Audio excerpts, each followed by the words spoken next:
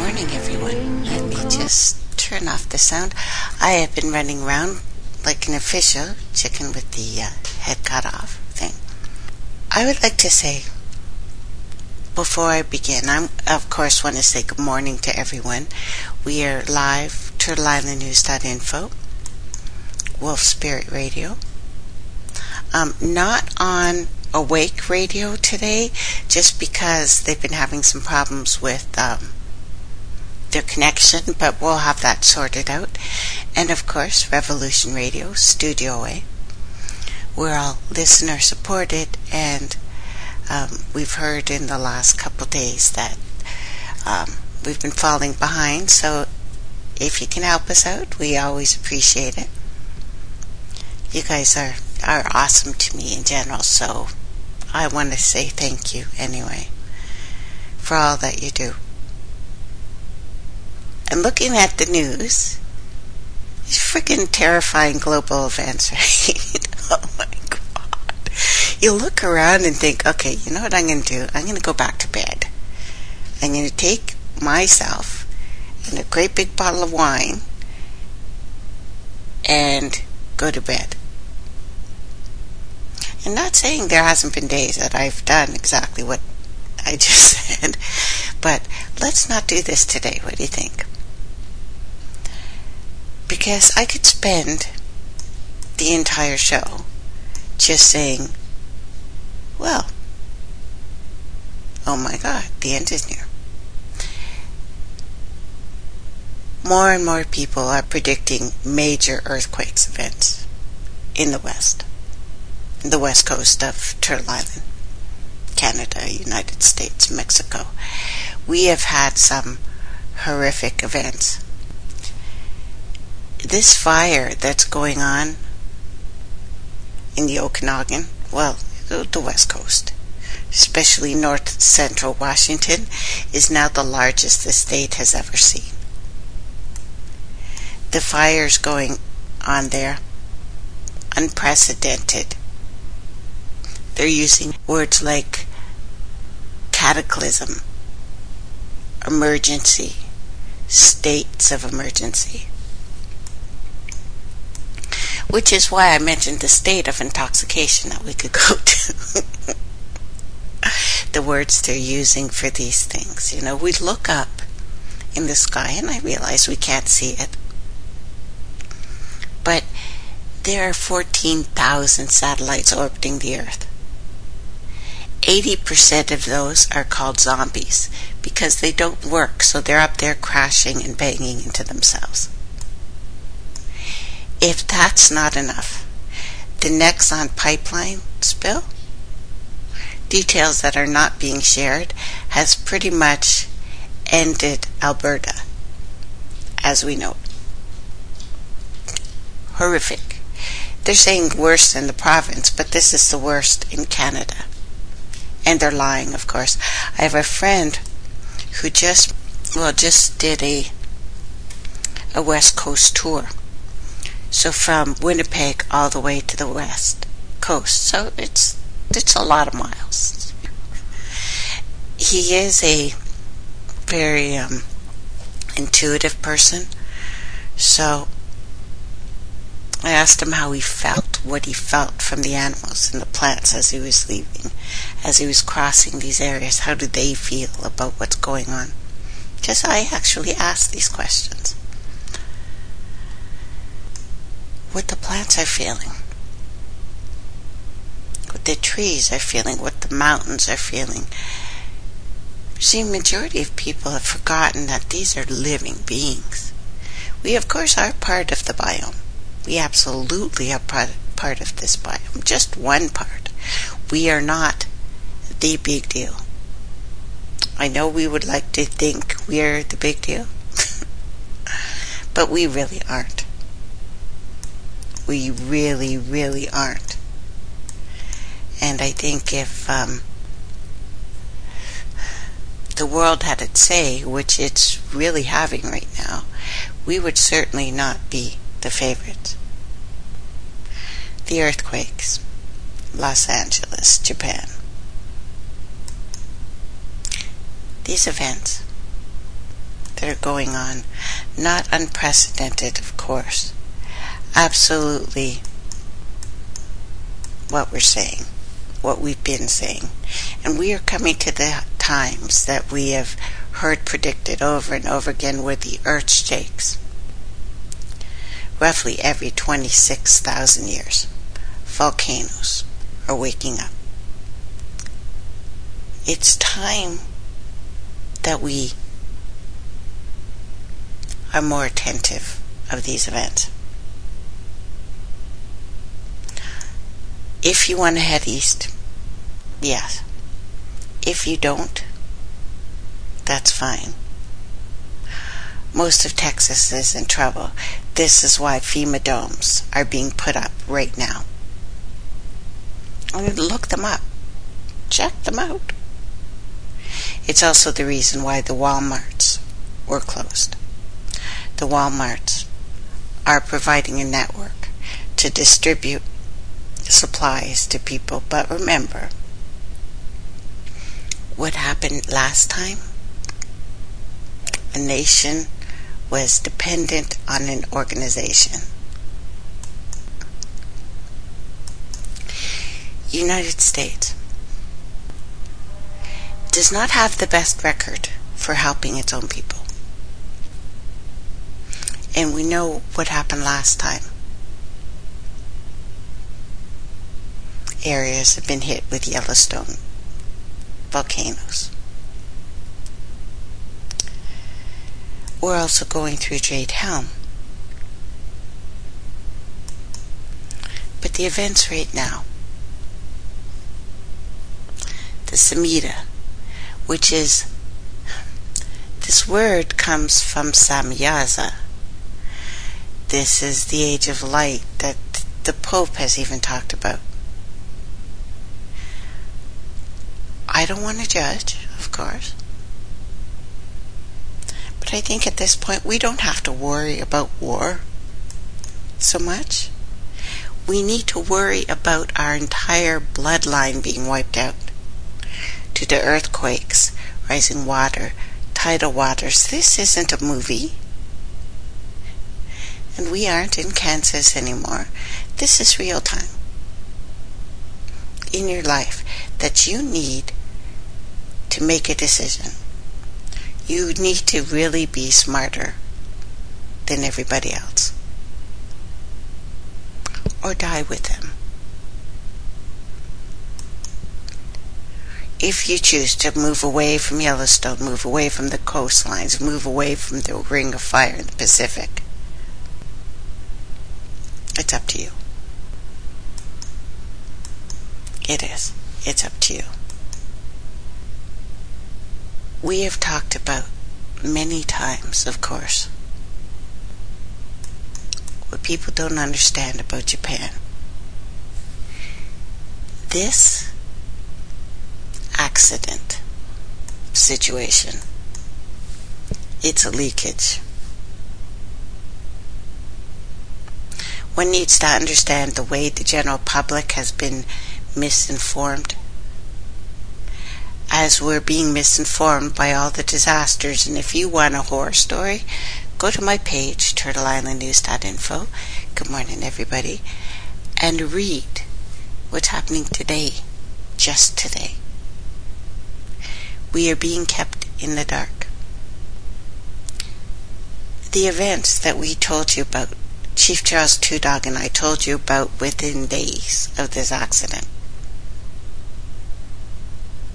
has affected the future of this entire world population. Everything. The present radiation, the radioactive material leakage, from all the disasters that have been triggered by that one, Japan, you just see horrific patterns of sequences of events rocking the world's population. My estimate, and the estimate I get from people who actually understand these things, like nuclear physicists, are saying through this first trigger. In North America, over the next 25 years, around 10 million people will die. All across Turtle Island. The loss of agricultural topsoil will be so immense that some of these lands will be unsuitable for agriculture for at least several tens of years. If you don't believe it, just look at the present the present radiation cloud of cesium.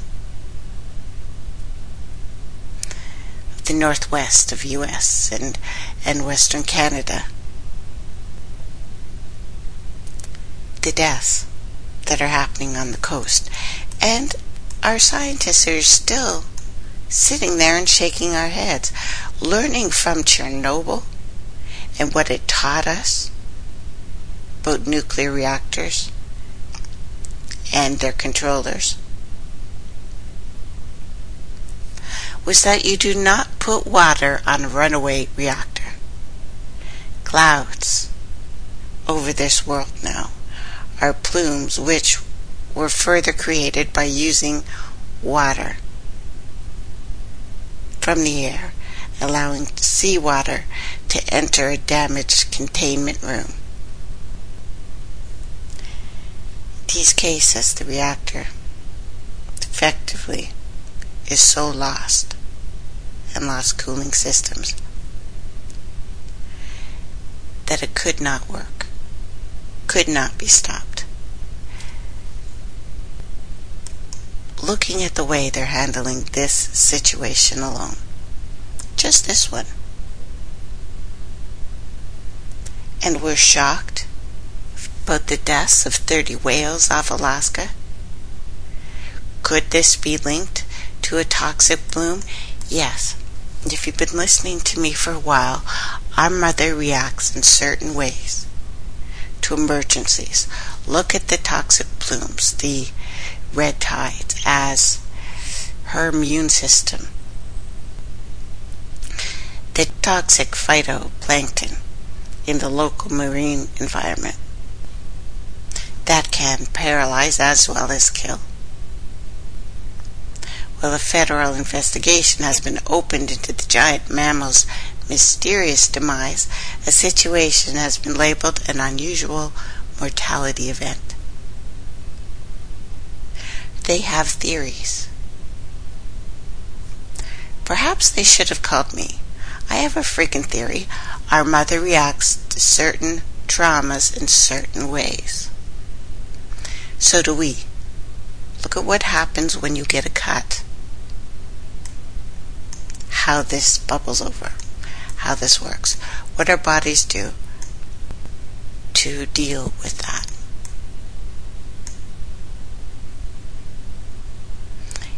It's not um, it's not surprising. You know, in the rush to export coal all over the world has been an environmental and economic mistake. I posted some pictures of what's going on in um, Gladstone, Queensland today. The long-term damage. Now this planet will be fine. She always is. She has time. She has millions of years. Here in Canada, who used to be known as the good the good people of this continent, that's over with our um, prime sinister Harper who supported exploitation all over the world. Rape of Africa, continuing of course. And our policy, Canada's policy, can be summed up in a couple words. Do what is good for Canada-owned mining companies, which means British Petroleum. Yes, they own the mines on the ground and the water. Even with widespread criticism of operations, this has not stopped the support for the ravages that we are doing all over the world. Canadian mining companies bribing officials, evading taxes, dispossessing farmers, displacing entire communities, employing forced labor camps with children, devastating ecosystems, and spurring human rights violations all over the world. More important than specific instances of abuse, which I have detailed before, Canada and Africa has been 300 years of aid and exploitation because that's what our aid is. You know, I was grateful on the weekend because um, Patty Walking Turtle invited me on her show. We have a, a, a round table. A round table where we speak of the issues of the day. And of course, things like Agenda 21, which we've spoken of, and things like that were brought up. Were brought up, but you can look online because there's so many things posted about this now. The prophecies of Columbus. Was he a prophet? No. Was he paid by Queen Isabella to rape this continent and continue the rape of the islands? No. He was not paid by the Queen. He was paid by the Vatican and by rich Jews who, yes, worked together. In his prophecies, he spoke specifically of us needing a one world ruler, a one world government, a Darth Vader. Okay, not so specifically Darth Vader, but an emperor. This is what he came here for when he brought the slave ships, carrying first European people and rats and diseases and filth. Europe had already been raped. Completely. People were starving. And as we've seen before, people that are starving will do anything to save their family. We have now an international emblem of human greed and insanity. And it's beyond my ability to find words to describe the pain and distress that I feel from the pictures of what's going on in this world. breaks my heart. But I must look at it. For me, the newest pictures of starving bears in the Arctic is an emblem. It is new flag for all life on this planet.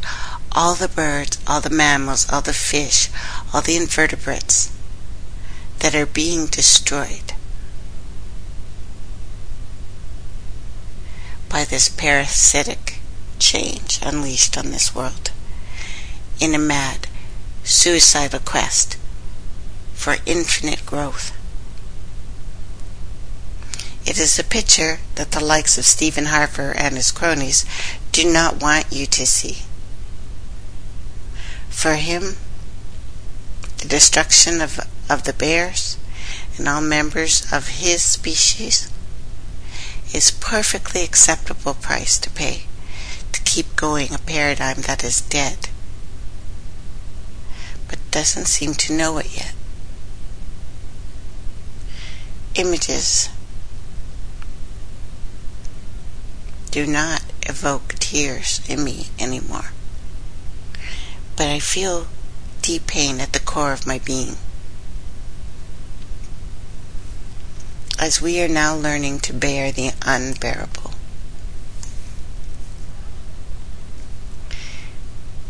And reflecting on our new habitat.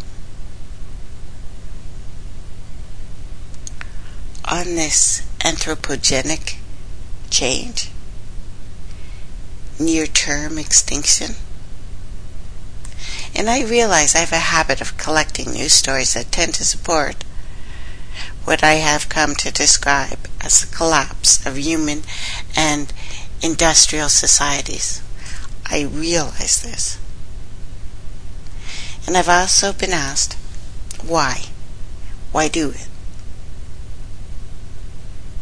And doesn't it make me so depressed to be dwelling in so much negativity? And my answer has always been I couldn't live with myself if I didn't confront this head on. And I realize it's kind of a nonsensical statement, if there ever was one. Can't live with myself. I guess what's made it easier is to treat it all like a bit of martial arts. To accept the information and reflect it back out in a more concentrated form into the universe. You know, when I started my blog and talking online, it was about collecting stories about peak oil and collapsing economies and encouraging people to develop strategies for themselves, their families, and first and foremost their communities to make them become more resilient, to transition to the post carbon economy. But shortly after I started, the world economy is dragging itself along, still on the point of collapse. And things have become worse in ways I couldn't even imagine, and the stories have become shriller and more frequent, yelling out that this cannot continue, that something has to give. Well, all these good old processes have not gone away.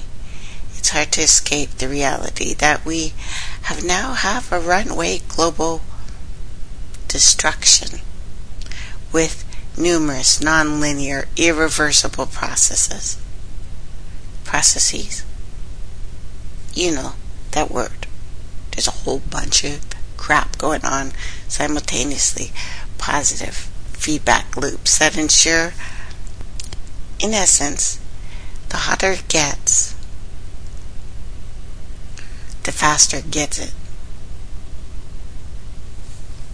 Last couple weeks, since the onset of the northern summer, we have seen events whereby we seem to be watching the breakup of the Arctic ice in real time, daily, and a series of truly horrifying extreme weather events around our beautiful planet simultaneously. Now it seems to me that the narrative has to be changed from building sustainable communities to acknowledging that humanity is on a suicidal mission and the greatest likelihood is that we, along with the rest of life, are heading for extinction. They're calling it near term extinction. I guess that's softer. Would you like it softer? I woke up this morning after listening to Guy McPherson's interview with doomsday dinner for the second time with a strong need to make a tactical retreat. To process myself or at least for myself what this means. And there are very various ways we can process these things. One completely ignore reality. Take refuge in the lies distractions of the mainstream corporate media, all owned by six guys, along with usual, well, usually comes an unconscious anger at having one's comfortable view of life challenged by the likes of you or I. Highly likely that these things get worse. And as they get worse, this anger will take on violent forms. These are the people that have become foot soldiers for fascism, who will inevitably blame the victims, will look for reasons for their predicament anywhere other than in the mirror. And I generally fear the strength and violence of this reaction. There are others who will take refuge in a more liberal view that also paints a largely false picture. Huge chasm here between the cloying rhetoric of Obama and the reality of his administration that stands out as well as the nonsense. of The liberal media that takes the rhetoric for fact and ignores what I like to call reality. When it comes to what's going on climate wise, the majority of those who recognize its reality will follow the official line, which paints a frightening but false picture of some sort of linear change. The oceans will rise, the world will get hotter, but not in our lifetime. Have a beer, another cookie. And I have become somewhat used to the distortions of media. It seems to be a complete taboo against dealing with any kind of reality, other than a brief item here and there and things always in isolation from the global context and the reality of what we're seeing on the ground. And I have been, or at least should have been, more realistic in my expectations. That the stark realities of rapid sea ice melt and methane release, along with all of the other feedback loops caused by these things, would be reflected somewhere in mainstream science but it turns out it has not. And there are so many paid informants now working with us on our allegedly free media sites, all of independence, but some people are getting really, really well paid. Juicily well paid. Shiny, bubbly, well paid. And the actual observations of scientists who are actually working in the Arctic and the Antarctic has long overtaken the computer projections of this mainstream science. There's um, a David Wasdell, Apollo-Gaia program, UK in his excellent presentation on the Arctic, on the feedback mechanisms, makes it clear how wide the gulf between reality and the computer models are. I've always been aware of the inherent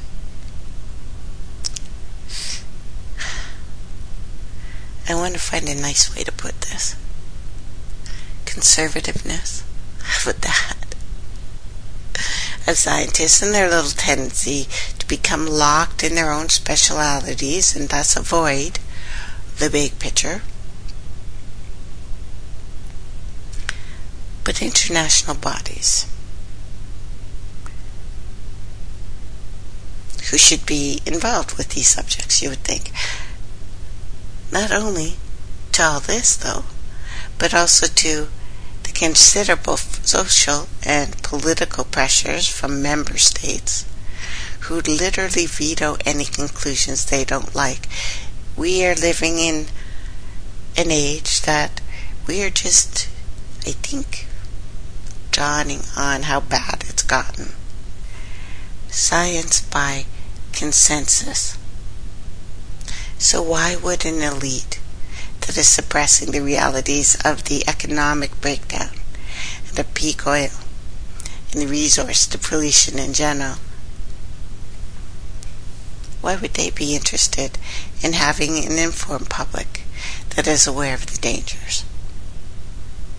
Why would they be interested in having people aware the ecological collapse, the extinction of 200 species a day, predicament of having 430 plus nuclear installations that are way past their use by date and subject at any time. Well, catastrophic meltdown. 430 ish right now. Is this the pleasure of extinction? In many ways. SI is pointing out how many times predictions of Armageddon have proven false. Discussing the important role. What should we call it this time? Fundamentalism. This is played worldwide, especially in the United States. However, without addressing sound scientific base behind any conclusions. There's a man called John Michael Greer. He wrote an article called The Pleasures of Extinction. He attacks people like Guy McPherson without naming him by name. Refers to a near term extinction as the latest apocalyptic fad. His word Fantasies of imminent human extinction are one comforting, if futile, response to this ugly predicament. If you want a justification for living as though there's no tomorrow, insisting that in fact there is no tomorrow is certainly one option. As if the conclusions of McPherson and many, many others was just one more apocalyptic cult instead of being based on sound science. So I did come across a single.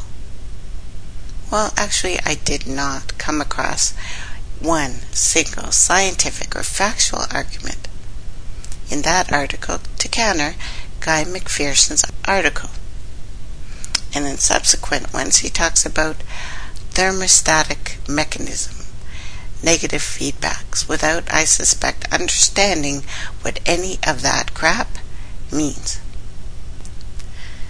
But if you can become um,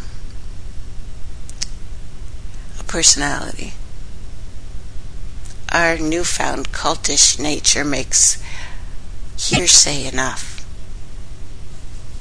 Like when 20 people read you the exact same article last week that was published in Natural News and had no facts whatsoever, other than a couple words repeated over and over again. I heard myself maybe 10 times. But when we see these changes, drastic as they are, I guess we have to think there's nothing special about that and how the Arctic is melting. After all, the human species can withstand wide variations in temperatures, right? And I experience much greater variations in temperature when I step outside. And again, to answer, or the clear answer came from Guy McPherson in his recent article with the Doomstead Diner. The answer is not in the temperature per se, but in habitat. We are already seeing the loss of human habitat from processes like deforestation, desert, what is this even a word? Desertification, where things become desert, from eco- ecological disaster, Deepwater Horizon, catastrophe in the Gulf, Fukushima. We are seeing acidation of the world's oceans and increasingly dead zones, anoxic zones in the water, oxygen free zones in the water. It is our water and its processes that allow us to breathe in and out, which I'm relatively fond of. Increasing temperatures that we are already seeing. I know if you get one cold day, you're losing your damn mind. See, it's not getting hotter. I'm from the north. We do not get 45 degree days in August until now.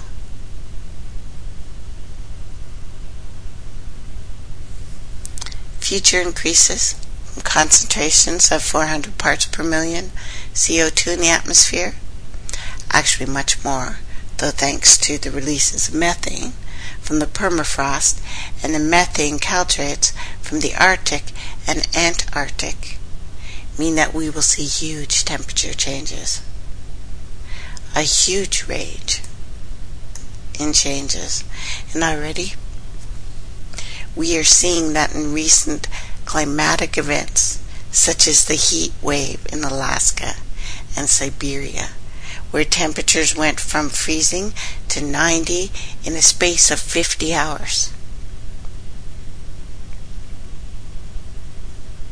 90 Fahrenheit. What happens to humans and their habitat in these conditions, especially with the energy collapse, when we won't simply be able to turn the air conditioning on anymore? We will have to live with the new abnormal. Prolonged exposure to temperatures of more than 95 degrees Fahrenheit, and we lose our ability to thermoregulate. In the words of Guy McPherson, in the short term, we're dead. When the temperatures go from freezing to 100 in the space of two days, how is our permaculture garden going to survive? At certain temperature, protein starts to denature. It breaks down. It is no longer viable. I would contend this means we lose our ability to feed ourselves quite quickly, let alone the ability to feed our 7 billion brothers and sisters. No sane person would wish for the extinction of life on this planet. Still, let's make a big deal about it. But no intellectual argument is going to make this problem go away any more than collectively burying our heads in the sand or sucking our thumbs and rocking back and forth and singing la la la la la. we need to accept the evidence. If you are going to argue, please do so on the basis of facts and evidence. Tell the climate scientists they are wrong. Tell the polar ice scientists that their measurements are wrong and the volume of the Arctic sea ice has not decreased by 80%. Please, please bring some evidence along with you as you refute these facts. Once we have accepted the evidence, we have to work out how we are going to respond. Another stage of the round. Maybe this is the five stages of grief. I heard there's five. Could be. more. It's not just accepting the near term extinction, this fluffy bunny word for oh my god.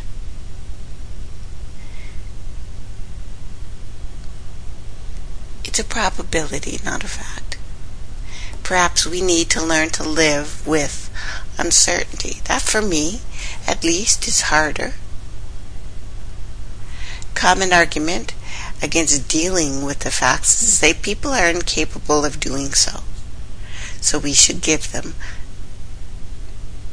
only give them such facts as they can deal with. Always re- leave room for hope. And the light workers and the archangel Michael. Always hope. to me, that roughly equates to lying to you and to the perennial objection that only possible reactions are to fall into the most abject depression, become a hedonist, party our way to oblivion. Given the way that most of us in the developed world would lead our lives, it is impossible to distinguish how living as a hedonist could be distinguished from the way we are already freaking living our lives. And regarding depression, does that have to be terminal? We can't move from anger to denial, to anger, to depression, to, to acceptance. What about looking at reality in the eyes without blinking? For me, it is the only way of living my life. Anyway, personal choice. And I realize every day I I wake up with at least two new gifts. My eyes opening. But if this is not crazy enough, and I wanted to give you something a little funny crazy. It's funny crazy, weird, odd. Okay, 50 ships have just vanished. I mean it. They just, they've just disappeared. I don't know if disappeared is a nice way to say, okay, we sunk your 50 ships. Take that. North Korea submarines, 50 of them, have just gone bye bye. That's 70% of the country's known fleet. Left their bases and disappeared from radar. A development that comes as two Koreas announced Monday that they plan to lift the semi state of war. That's like, you know what, I'm a little bit pregnant. I'm sorry, you're either pregnant or you're not. So semi state war semi-state. Is that not a conductive thing? Anyway, semi-state war prompted by a landmine explosion that injured two South Korean soldiers back on August the 4th. Now, a spokesman for South Korea's defense ministry reported that the North's mass submarine deployment is unprecedented and that the U.S and Seoul have responded by increasing surveillance. The number is re- nearly 10 times the normal level. So they take that situation seriously.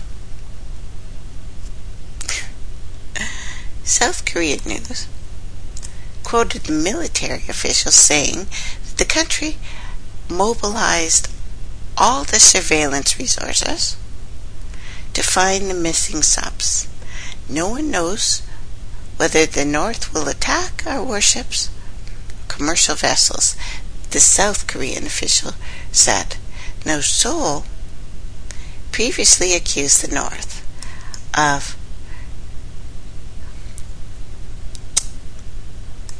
torpedoing a South Korean warship back in 2010. in an attack that killed 46 people. Of course, responsibility was completely denied. Nobody did it. The missile came from angels. I don't know. But anyway, it was reported on Monday that North Korea deployed 20 air cushion landing crafts near the Yellow Sea border with the South.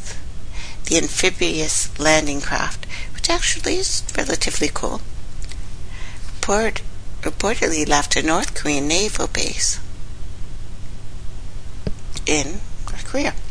Now, as part as the agreement announced Monday afternoon after several days of marathon negotiation and said pissing match, testosterone flying all over the place, South Korea agreed to stop blasting propaganda from loudspeakers pointed at the militarized border with the North.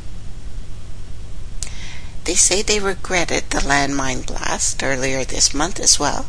We're very, very sorry. Further details of this talk are not disclosed.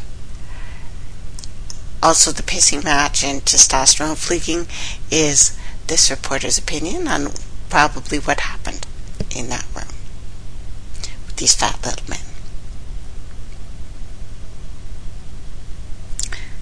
Now, part of the agreement announced on Monday afternoon, after several days of these negotiations, is they would start being nicer to each other. Actually, that looks like the translation. Now, this truce comes after the two Koreas exchanged live artillery fire last Thursday and Friday, which South Korea said the other guy started Seriously, South Korea said the North started it. It was the first time North Korea directly attacked South Korea since 2010 when they shelled the island of, I can't even pronounce it, but they killed four people with shells. South Korea hasn't hadn't blared messages across the border in 11 years. It's an old tactic the South has used on and off for decades, which mostly just really pisses off their northern, northern neighbors. These messages criticize Northern leader Kim Jong Un, the country's notoriously closed off political system. The two countries have technically been at war since the 50s, with occasional skirmishes and pissing matches and breaking the sea, ceasefire every now and then, but the last time the two countries exchanged fire was last October after North Korea fired on the South Korean balloons that were dropping propaganda materials over the border. So they've been kind of pissing at each other for a while. I don't know if it's time to send Den- Dennis Rodman back. But when someone goes in there and takes out that fat panda boy, I think things will calm down. Those people will kiss the feet of their God King, but will rejoice when they are free. Take out the fat panda boy and the world will give you food and employment. I'm sure these deals are being made right now. And of course, Fat Panda Boy is my opinion. Which, you know, could be say, said a little nicer, but I couldn't think of anything else that was more um, accurate. So we have Fat Panda Boy over there. We have now confirmation that Sandra Bland's death is being investigated as a murder, not a suicide. And pictures that I put up last week of that's not her are true. She is now being called a civil rights advocate, which is not exactly true. Calling her a police accountability activist, not exactly true. But according to a, test, a Texas district attorney, it's being treated as a murder. That's something, right? Something.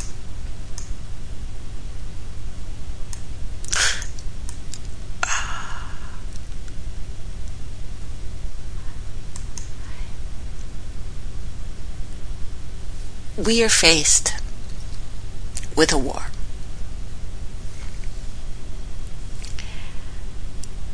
Two leaders. These have been the rulers of the planet for a very long time. Unsaid, of course.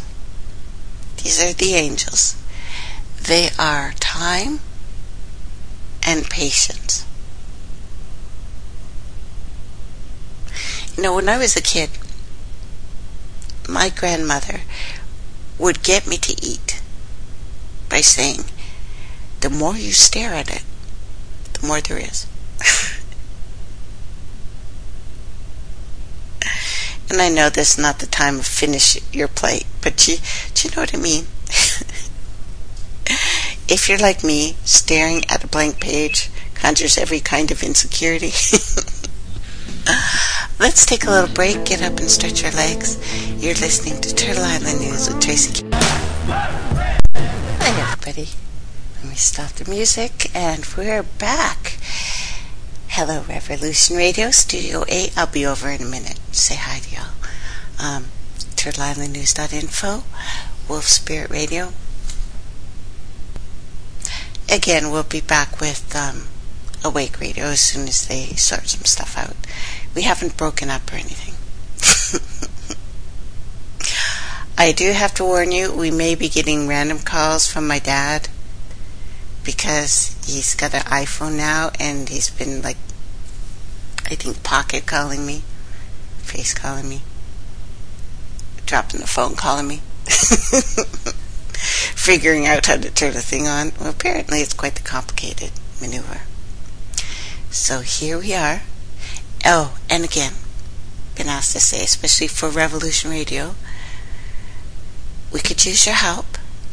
Listener supported, funded, owned and operated by you. especially me. You definitely read my ass. you probably have said that nicer. I love it, of course. I would like some direction. Not specifically today, but in general. To tell tell me what you like me to talk about more. On the left hand side of my page, www.turtleislandnews.info, you will see a contact form. With that contact form, you can send me a message. Tell me what you want. There's also a, a follow by email, which um, I was asked to put up there. That's also on the left hand side. And a subscribe to, which is on left hand side. You can supply, sub, um, subscribe to posts or comments. And on the right hand side, you come in, there's our tune in player, there's our regular player, there's a lovely little chat room, and um, of course, donate button. We love you. Could always use some help. so, terrifying global events. Well, China had the fourth set of chemical explosions right as the market slides into freefall. Dow Jones dropped 530 points Friday, another 588 points Monday's close. These events are starting to produce huge headlines. Many different insiders have been forecasting. Intelligent galactic energy ultimately pushing us through this time. Because this socio-economic analysis of recent events is a gateway, and a gateway only, into a much grander cosmic drama that is playing out right now. All things are going on simultaneously, many different levels.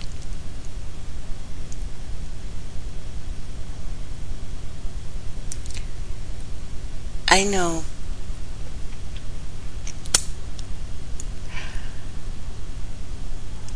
most people want to be manifesting miracles on this plane.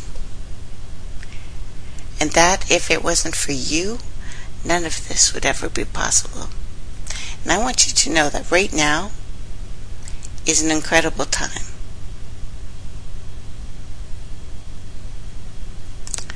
In all times are both things simultaneously. I need you to remember before I go on, if I go on with the news, that you are powerful and do and can create your own reality. You are the one who can change reality at any given moment, should you choose to do so. And I want you to understand that ingrain it into your psyche. Allow this knowing to penetrate your entire being. Reach all the way down to your subconscious. Align your thinking patterns. Having said this, I have some challenging messages.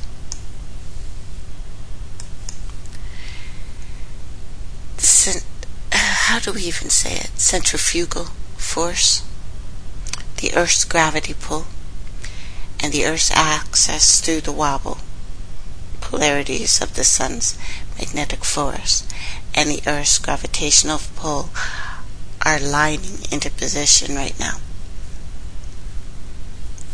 Within that pull and flip of polarities, brings transformation of my, well, mathematical ideas that are arising within the psyche of many people right now in order to reconstruct the understanding of workings of this universe and the very planet on which you live. In this vehicle you are wearing.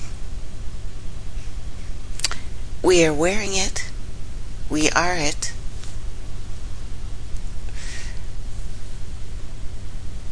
we are inside of this ship. This our ship, these human bodies. This new gravitational pull that you are experiencing is changing you rapidly now. You feel this. It is causing your vehicles, whatever you choose to vibrate in, to move to higher frequencies. This translates into a feeling of butterflies sometimes in your stomach, heart palpitations that you think maybe you're smoking too much or you're drinking too much or you're running too fast. It's not. It's not that. A general feeling sometimes of floating, just a few feet above the ground, a feeling of disconnection with your vehicles. Yes, and I mean your body and whatever you happen to be riding in right now. Your car, your bus, your plane, whatever. Identities that you hold dear to in your heart, the identities that you have acquired are falling away. They are peeling away. And you are having to look into that mirror that dark mirror and really see the true nature of your being.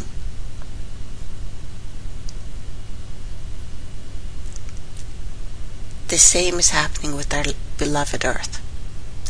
The planet that we reside is converting into something else.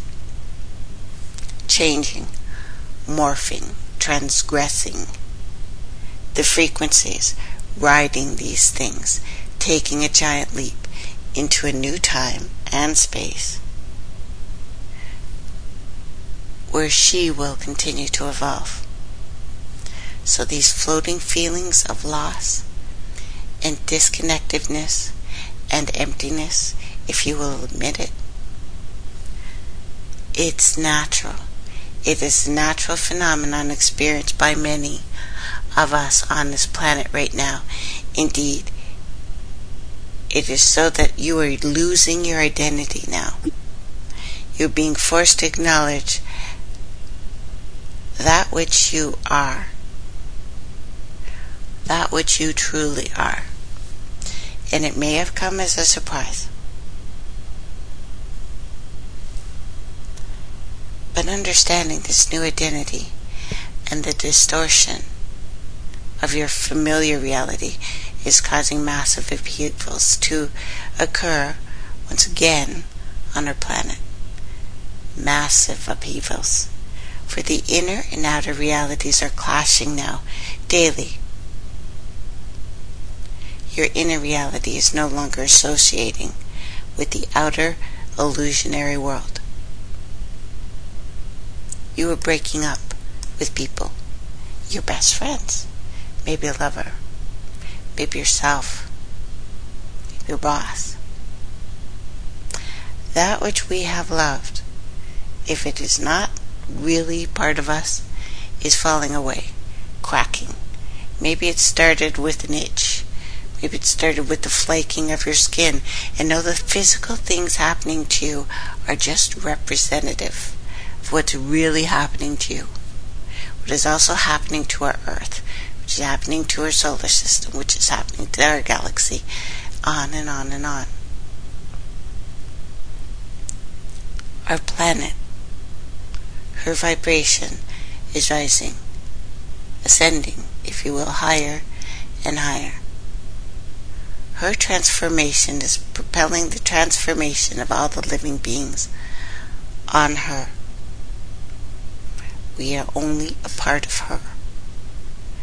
And that is all. It's not all, but it is all. You want to see what's happening on the planet, look at what's happening to you.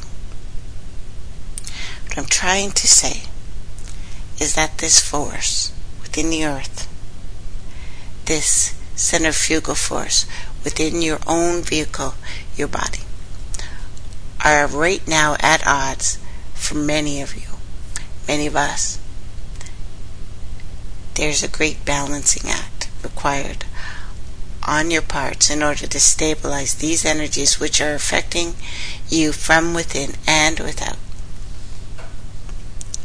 It is of the most importance to find balance, walk evenly within by releasing the programming of yesteryear, yesterday, yesterminute.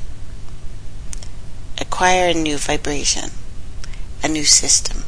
You must continue to thrive on this planet. You must.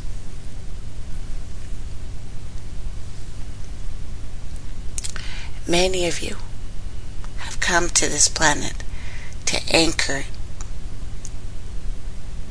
to anchor the transformation to hold, to stay. Many of us have lost beloveds in the last year.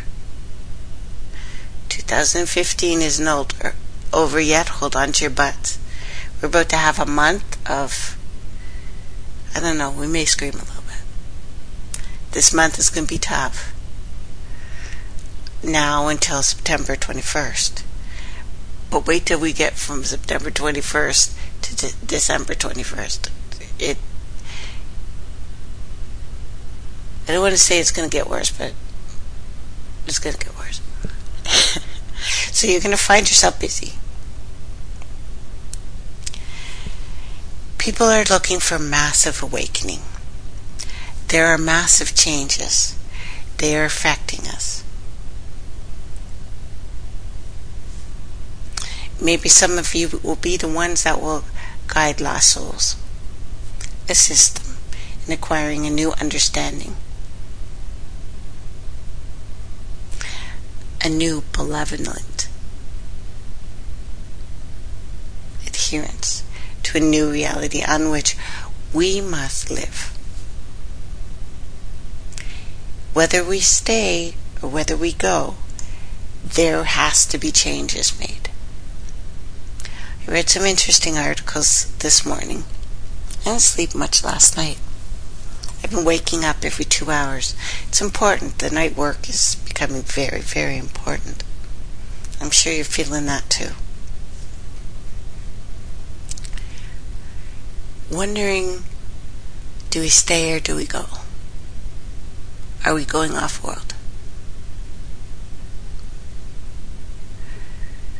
You will not leave this earth unless you've changed. There is nothing out there that would allow us passage. There's nothing. We it it's fake. There's no way. Even in our upper atmosphere, which holds the human resonance, we'll get into that. There are beings. They are called sprites. They are called fairies now. These are things that flash. One that I've told you about that's most likely the angel architect, but these things are alive. I realize that science today doesn't look at them as, as alive, but they're obviously alive. And they're not warring with each other. One is white, bright, a light. It causes lightning. During the storms, it travels up and travels down and causes our steady resonance. There's the red one. These are the jinn. Also the demons. They're the red ones. That's why we're afraid of the color red sometimes. We're told that way. It raises the frequency of this planet higher. It has signals from beyond the galaxy. It takes those signals sends it to Earth. The white ones takes the signals from the sun and the other planets of our little solar system, sends that to Earth. They're not fighting. They've never fought. They do a job. They always have. These things have been busy.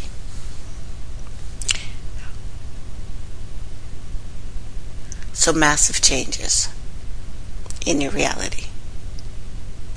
It's why animals are so obviously getting smarter, smarter. Doing acts of empathy that are incredible.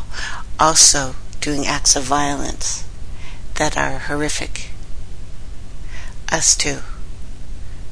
We just don't see many of us getting smarter. No.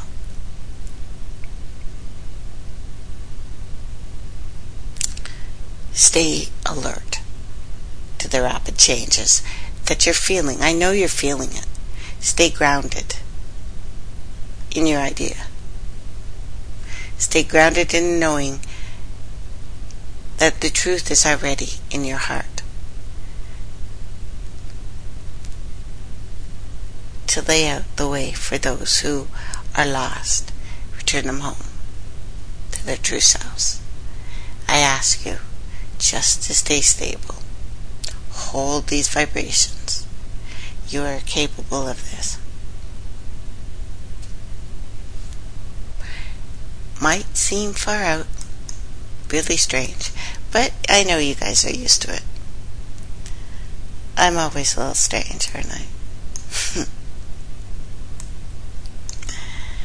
Crashing, devastation, horrific, environmental, catastrophes. We have a death rate for whales right now that is 1,500% higher. China's stock market lost 8.4% in an hour and a half. Same day, well, Monday. We have smoky skies in Alberta and the devastation, of course already going on Alberta. We have what looks like rod of God weapons being used all over the world. And this lunar tetrad pushing these events, stirring these events forward.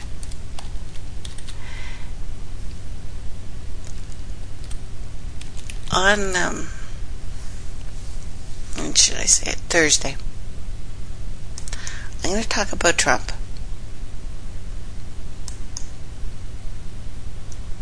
But ask opinions on him. Oh, I'm going to give it to you. but right now, we are in the age of sabotage. More and more sabotage. Pipelines that are bringing gas from Azerbaijan to Turkey have been taken out of commission for a second time in a month.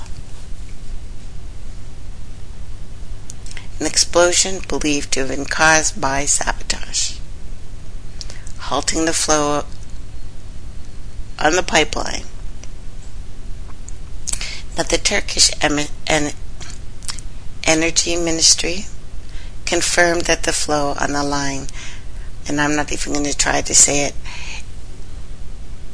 it's a gas pipeline or the South Caucasus pipeline. It's been halted. An explosion believed to be sabotage. This time they're saying Kurdish workers.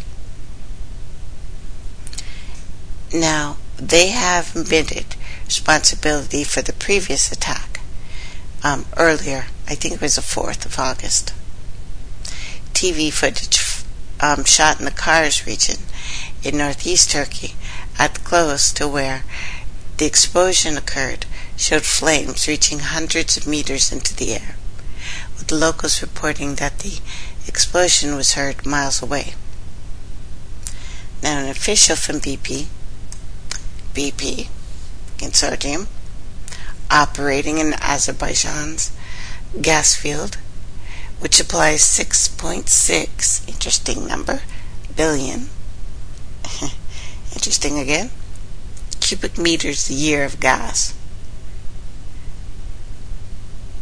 Confirmed that the flow was restarted on Sunday after being halted for three weeks due to the planned maintenance. the flow was still ramping up, not close to normal levels when the explosion occurred. The repairs on the line expected to take several days the area around the site of the explosion still sealed off by security forces. Now, this sabotage second on the pipeline in the last three weeks.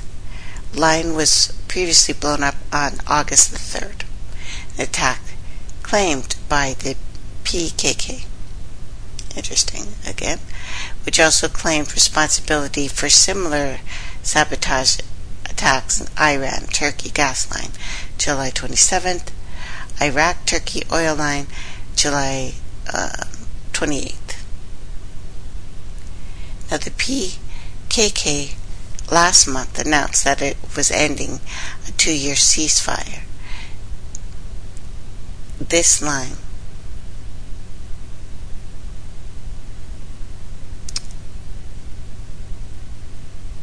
well started flowing I think now this number I'm not sure. I'm pretty sure 2006 for sure I think September 30th horrific explosion on this line. Also I would like to make a formal request for the world to stop shaking. Well it kind of did really. Only three major earthquakes so far in August. But the weird thing is, they were all in the exact same place. And what happened to the major earthquakes this month?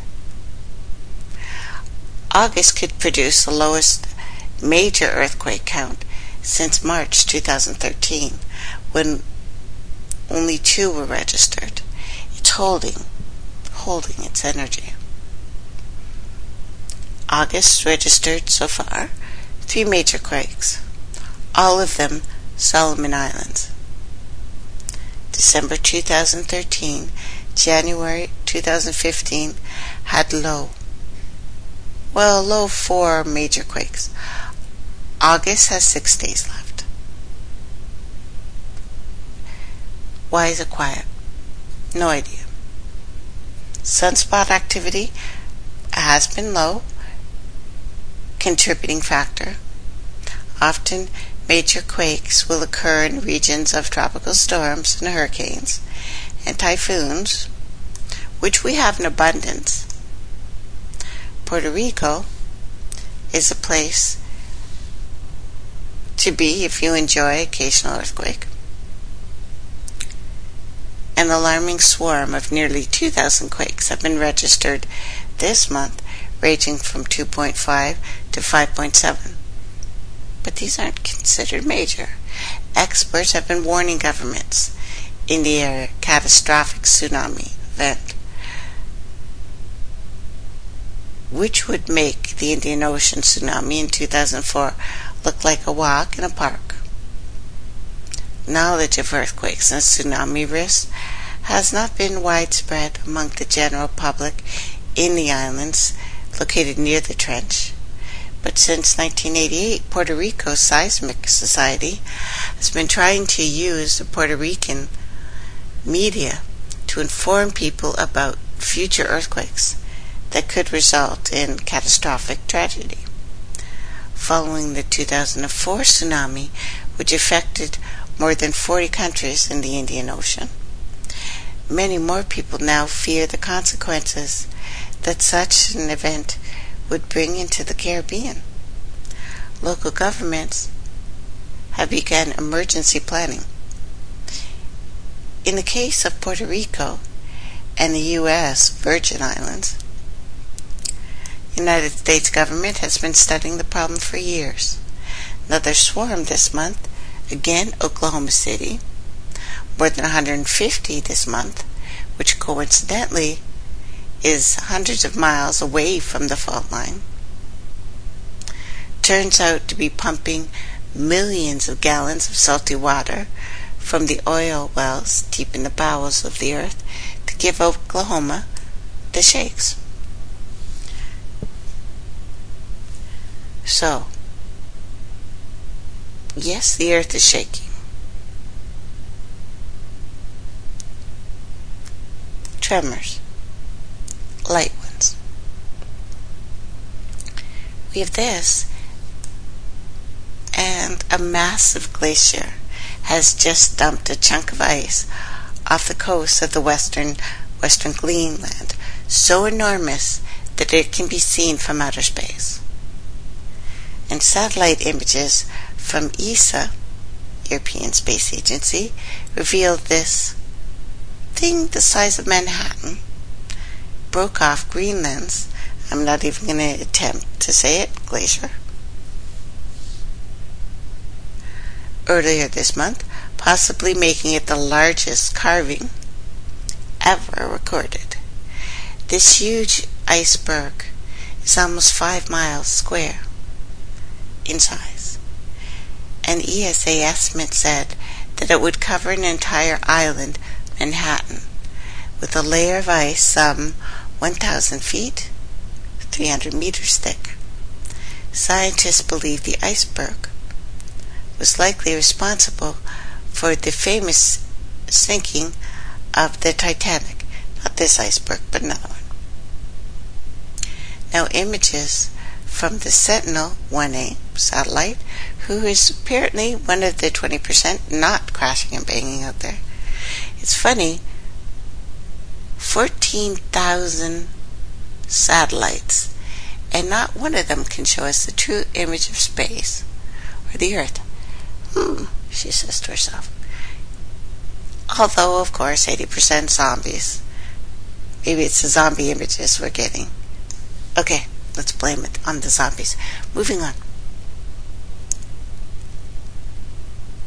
It's moving towards the coast right now. It's called a carving event.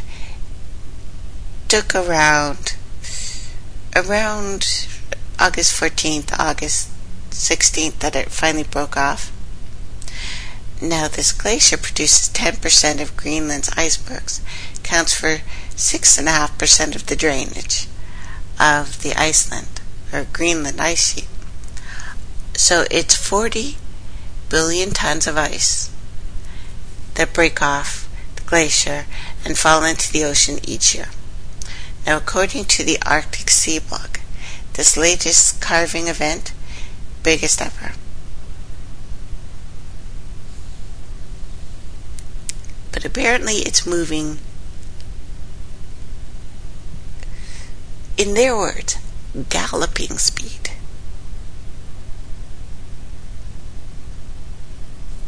Weird. But over the past 25 years, Greenland's ice sheet has been melting 30% faster.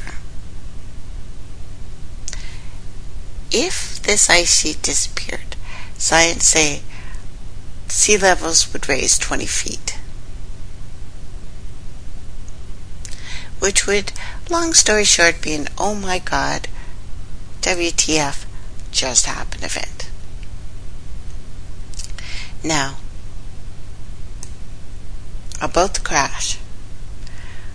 A former advisor to Gordon Brown has urged people to stock up on canned goods, bottled water, as stock markets around the world are sliding.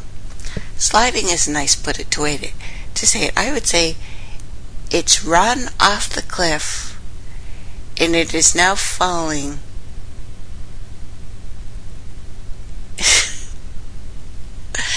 as if it has weights on it and demons jumping on its back. You should have the means to make water from your air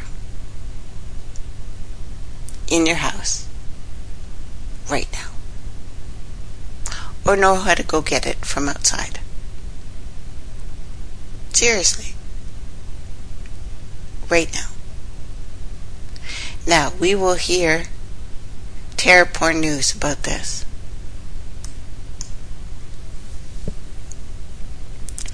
This is coming. You can't assume that banks and crash points will open. It dropped on Monday in a way it hasn't done since 2008. Remember 2008? Next. Okay, money, tin goods, essentials. Prepare for a month indoors. Make sure you have a month worth of food indoors. Long story short. Now, if you don't, get shopping because you won't find it. Now don't panic. Don't go shopping like it's um, that big sale day they have in the States. Black Friday where people stomp on each other. Also agree to have a rally point with your loved ones in case transport and communication cuts off. Somewhere that you will head to. Know the rules your mom, well my mom did anyway. rules my mom had in case I got lost shopping. We always meet at the front door. Have your rules. Doesn't happen? That's fine and a month worth of dry goods is nothing. My grandma used to have six months. It's not a big deal.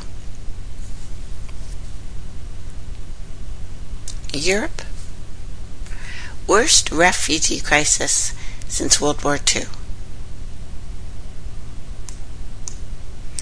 And of course, they're being welcoming about it, right? Being welcoming like they wanted to be welcomed. Oh, I don't know. Turtle Island. Obviously, these would open they would open their arms to their brothers and sisters. And at least 2,000 more immigrants flooded overnight into Serbia. Desperate journey to try and go to Hungary. UN officials have warned as an emergency talks begin in Berlin at least 7,000 people, mostly refugees, from a brutal war in Syria caused by USA, UK.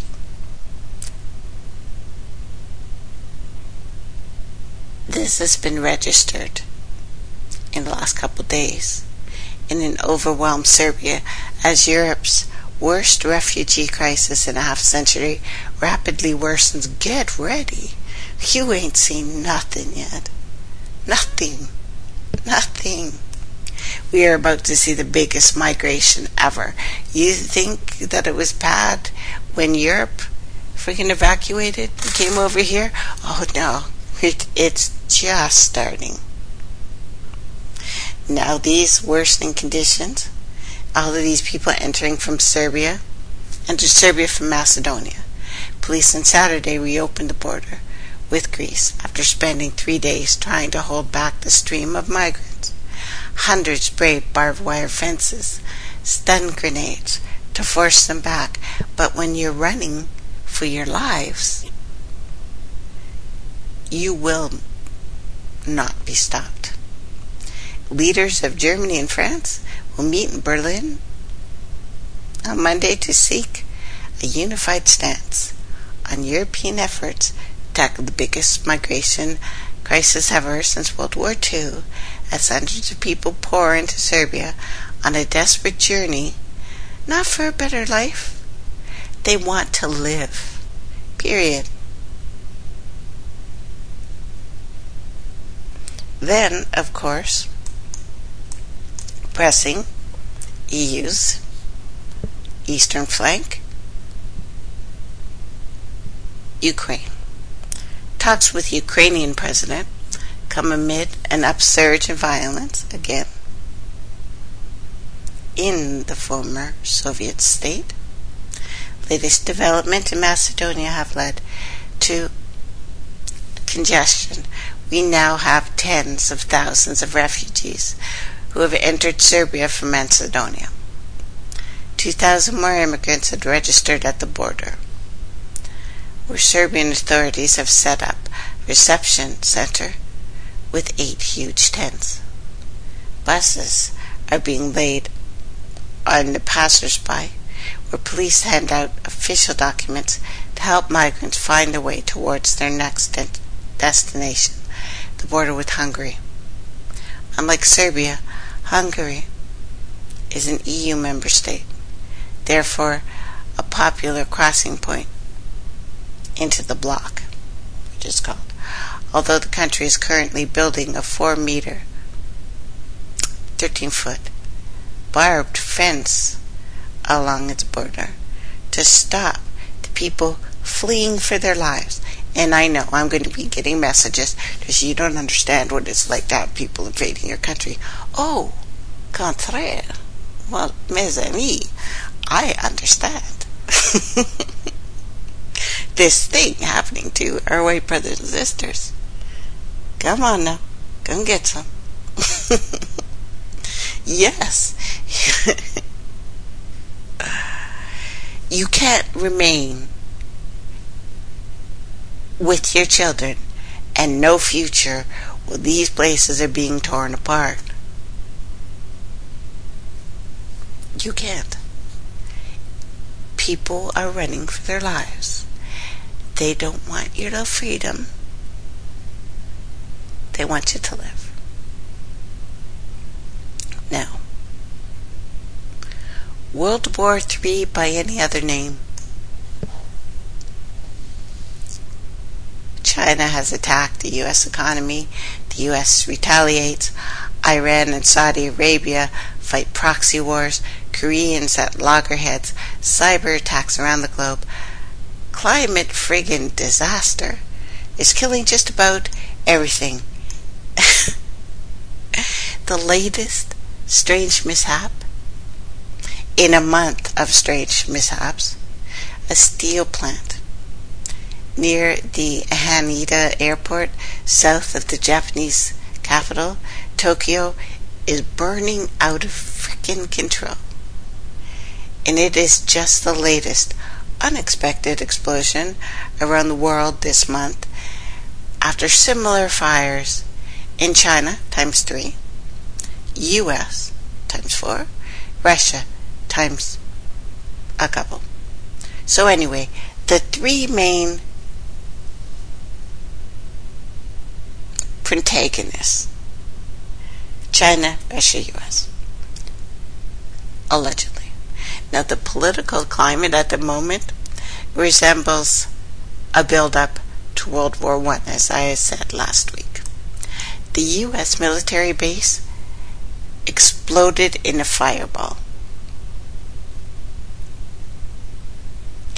Kanagawa, um, Kanagawa near Tokyo. The Pentagon confirmed this Sunday that an explosion occurred at a U.S. military base in Japan. No injuries reported. Department of Defense spokesman said later that the blast happened just after midnight. At a building on the U.S. Army post, about 25 miles southwest of Tokyo.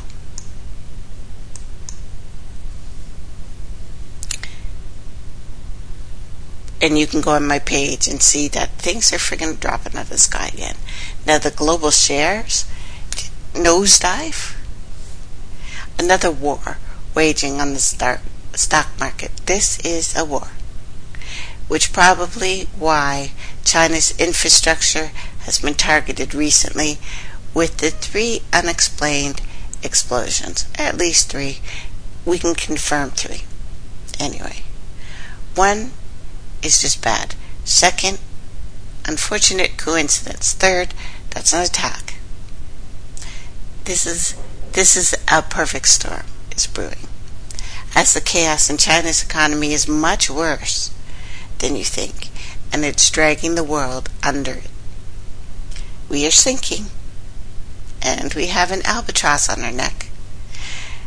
The main London stock index down 2.94% in early trade Monday. Meanwhile, the major markets, France, Germany, opened up. Well, opened down, which is actually a thing apparently, by more than 3%. It comes after the stock markets in Asia were hit overnight with Shanghai composite in China going down 8.5, 8.4, the worst since 2007. Chinese shares continue on their sharp fall Monday, Tuesday, as concerns over the country's slowing growth. Volatile markets spark panic amongst traders. This is not why. United States has got its little britches in a knot is the problem. Anywho, it is a dramatic tumble that is dragging across everything. Hong Kong index dropped 4.9 while the biggest, the region's biggest stock market went 4.6.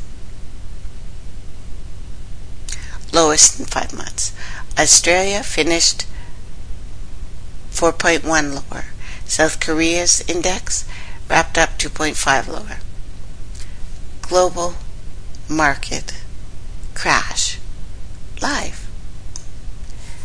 Massive fires erupted in Moscow again, southeastern Moscow, not far from the site of the oil refinery last week, creating a gigantic column of fire seen as far as Red Square.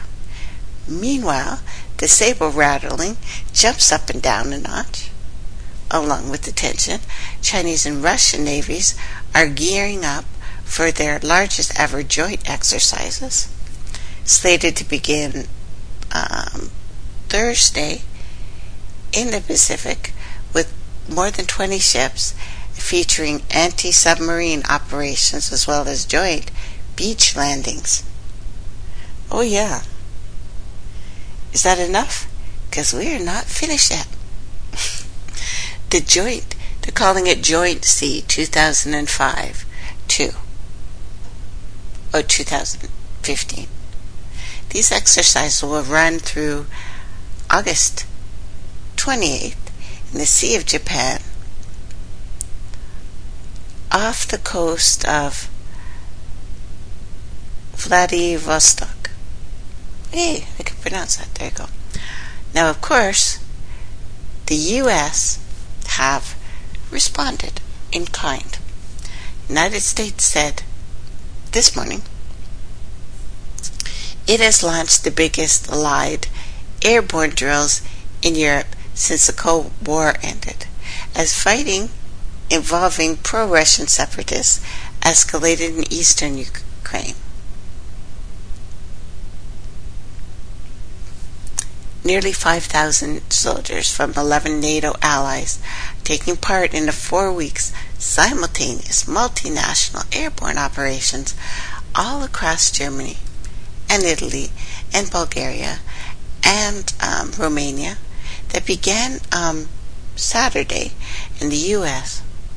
said the U.S. Army said in a statement, Swift Response 15, who of course has nothing to do with Jade Helm 15, except it really friggin' does. But it is the largest Allied airborne training event on the continent since the end of the Cold War.